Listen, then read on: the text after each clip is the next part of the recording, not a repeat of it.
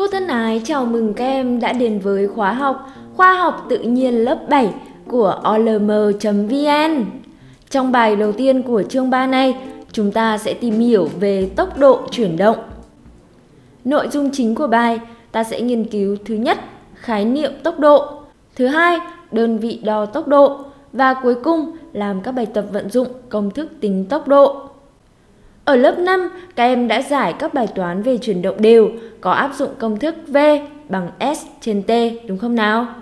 Các em có biết thương số S trên T đặc trưng cho tính chất nào của chuyển động? Ta hãy cùng xem xét một số ví dụ sau đây nhé. Bạn A và bạn B cùng chạy thể dục 30 phút mỗi sáng. Trong vòng 30 phút, bạn A chạy được 6 km, còn bạn B chạy được 5 km.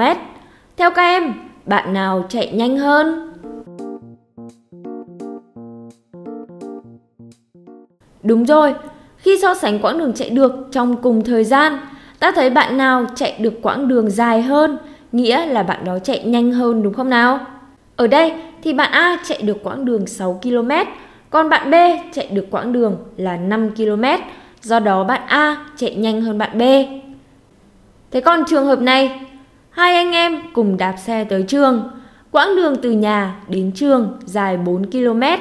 Người em đi hết 20 phút, thế còn người anh đi hết 15 phút. Vậy ai nhanh hơn? Các em trả lời rất chính xác. Nếu trên cùng một quãng đường, ai đi hết ít thời gian hơn thì người đó đi nhanh hơn.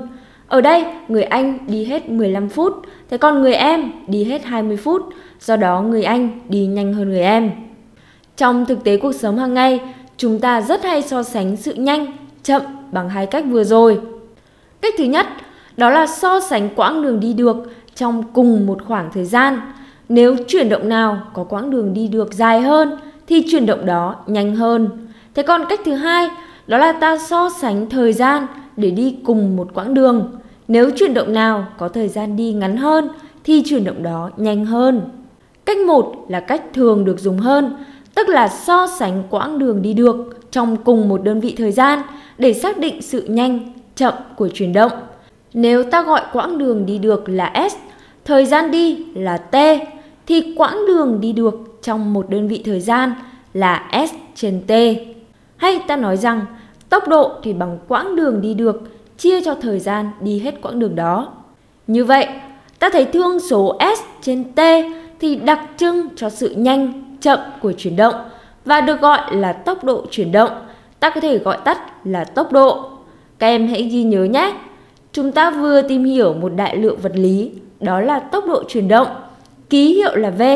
Và vì V bằng S trên T, nên đơn vị đo của tốc độ sẽ phụ thuộc vào đơn vị đo của độ dài và đơn vị đo của thời gian phải không nào?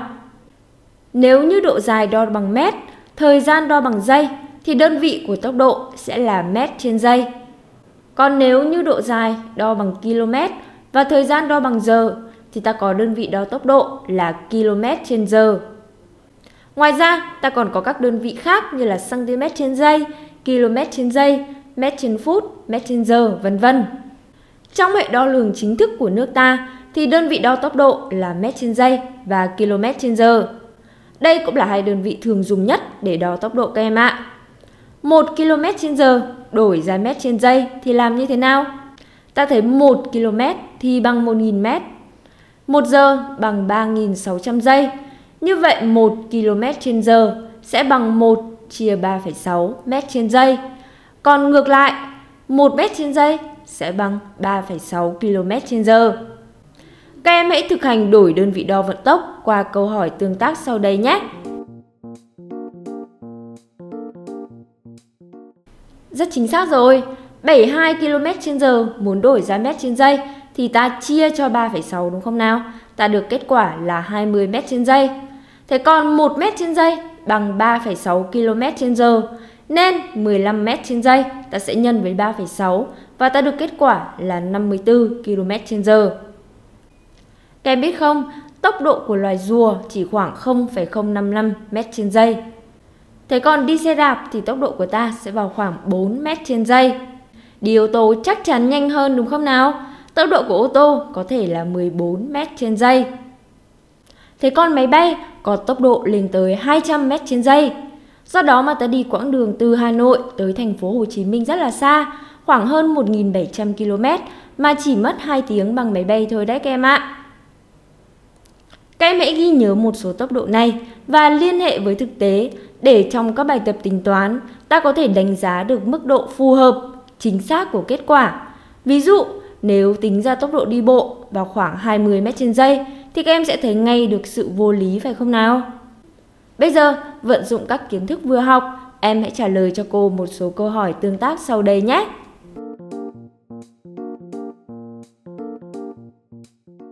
Chúc mừng các em!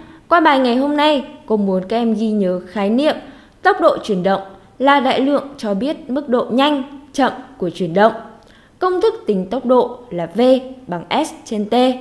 Trong đó S là quãng đường đi được và T là thời gian đi hết quãng đường đó.